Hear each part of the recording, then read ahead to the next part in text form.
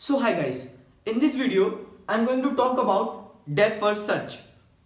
Basically it is also a type of unguided search or you can say as uninformed search because at every stage there is no particular information given in which direction we need to search.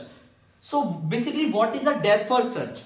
Depth first search always expand the deepest node in the current unexplored node of search tree.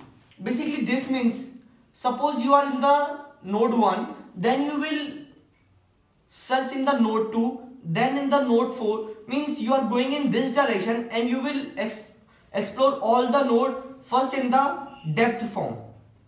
After returning you will again find this node and after coming back from 5 you will move to the third node and in third node you will visit 6th and afterward 7. So basically in depth first search all the successor nodes are searched first and after that the nodes are uh, searched. So basically how depth first search is implemented. Depth first search is implemented using stack that is last in first out. It is just like the keeping a book. Suppose you keep the first book, then second book, then third book, then fourth book.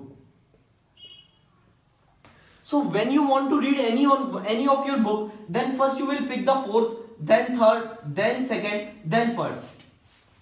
Same as with this case. Suppose you are implementing it, then eighth will be at the last, but the, this node will be expanded, or you can say this node will be searched first.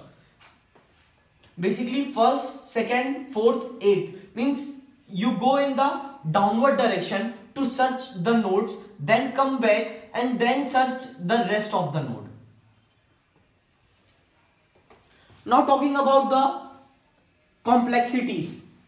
Basically complexity of depth first search is O b raised to power d where b is number of nodes generated from each node. Like from this node two nodes are generating. So for this node b will be 2 and d is the depth means like in this case depth is fourth.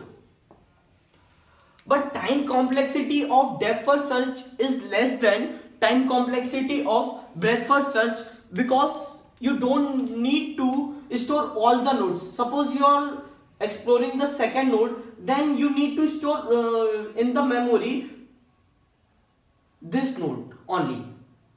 You don't need to store 5 or if there was 3 so you don't need to store this in the memory.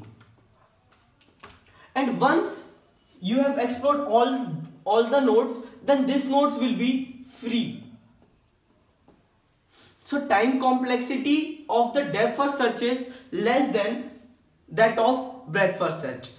Space complexity is same because if you are explore, exploring this node suppose you are exploring second node then you need to keep the node because if you have explored eighth but you have not explored the fifth node so you need to keep the second node also in the memory. So space complexity of depth first search and breadth first search are almost equal but time complexity of depth first search is slightly less than that of breadth first search.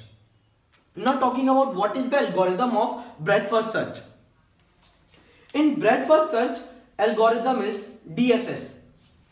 Then you have to visit the node. Suppose visited node is 1. Then from each node of vertex W from adjacent and V2 from V do this. In suppose you are in this node. Suppose you are you are in the second node.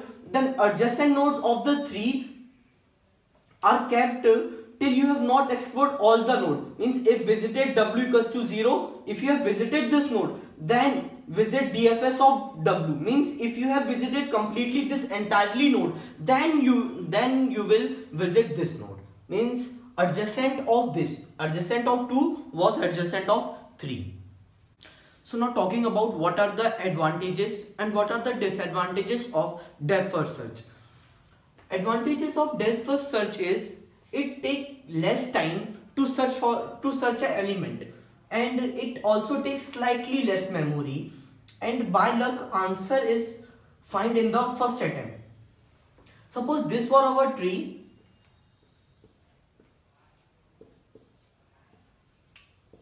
and you are searching this element. Then on first attempt you can find this answer without like if you were in the breadth uh, breadth first search case then you have to search this node and after that you have to search this node. So in breadth first search in depth first search by luck sometimes answer can be found in the first attempt. This is one of its advantage. It takes slightly less memory. Suppose you were searching this element and you have completely searched this element. This part you have searched. Then this part will be deleted from the memory and only this part will be kept in the memory which you are searching. Suppose you have searched this complete part then this part is removed from the memory and this part is only left in the memory. It takes slightly less time than breadth first search because when you are searching you are just searching on a particular depth of the node and you don't need to keep all the remaining part of the nodes so that's why it take less time. Now talking about the what is the disadvantage of depth first search? Sometimes it may stuck in a loop forever. Suppose this was your goal node and you started your searching from this node. Because it is a first search first you have to search all the successor node. And suppose these were the infinite numbers of nodes present here then it might be case it might be a case that you go forever searching in this node and you will never return to search in this.